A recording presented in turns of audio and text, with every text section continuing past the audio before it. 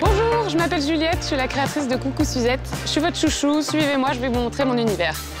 Avec ses créations pop, kitsch, ses références au girl power et ses accessoires hauts en couleur, des boucles d'oreilles en forme de sein, des pins et même des chaussettes Kamasutra, Juliette Mallet, créatrice de Coucou Suzette, est légitimement notre chouchou du moment.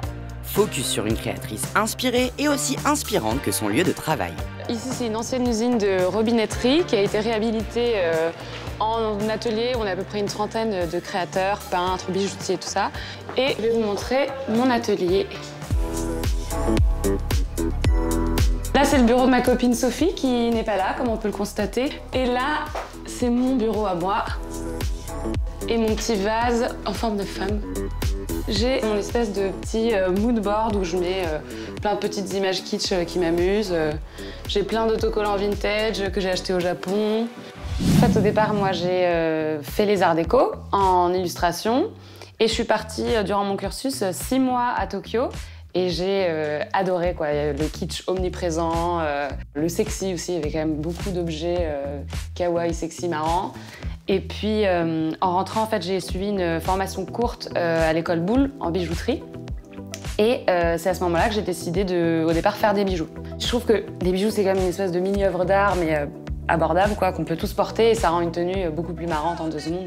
Juliette ne se limite pas aux pins et aux bijoux. Coucou Suzette, c'est aussi des patchs et même des chaussettes. En fait, euh, j'ai eu envie de faire des chaussettes parce que, un peu pour la même raison que les bijoux, je trouve qu'une tenue euh, simple peut être euh, rendue beaucoup plus funky, beaucoup plus rigolote avec des chaussettes. Et c'est pas un truc euh, qui est non plus euh, hyper criant. Enfin, on le voit si on.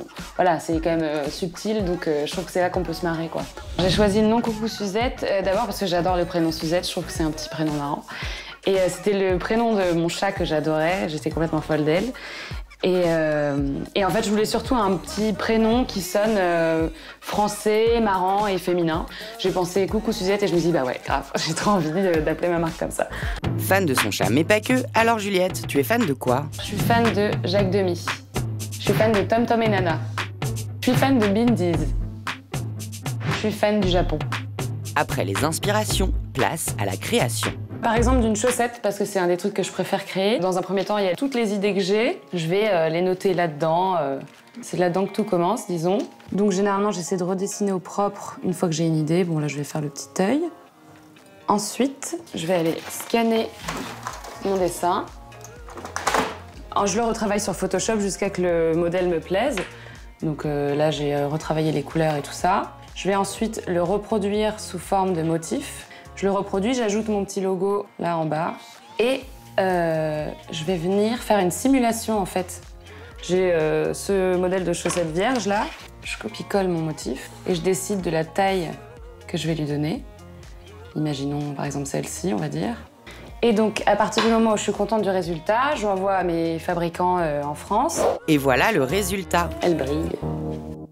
Le talent de Juliette n'est pas le seul responsable de son succès. Instagram a propulsé sa marque. Un jour, j'avais fait une petite euh, bague en céramique émaillée pour une copine en forme de sein. J'avais fait ça pour rigoler et puis je l'ai posté sur mon compte Instagram. Et en fait, euh, il s'avère que j'ai eu euh, plein de demandes de commandes. Instagram a construit à 100% ce ma, mar- ma marque aujourd'hui en fait. Moi, j'investis beaucoup beaucoup ce média. Je pense mes photos à l'avance. Euh, J'en ai, ai à chaque fois à l'avance que je pense selon l'esthétique globale de, l'ensemble des photos. Et puis juste une photo toute seule, est-ce qu'elle va marcher? Est-ce qu'on va la remarquer en petit? Les couleurs, que ça soit varié, que ça soit tape à l'œil quoi. Et coucou Suzette en hashtag, ça donnerait quoi? Ça donnerait euh, girl power, pop, kitsch aussi, il faut bien l'avouer. Comptez 11 euros pour un pins et 13 euros pour des chaussettes. Bientôt disponible sur son propre site. J'ai super hâte de passer euh, à un site plus, euh, plus officiel avec toutes mes collaborations, toutes les, re- les revues de presse et tout ça, donc euh, c'est en cours.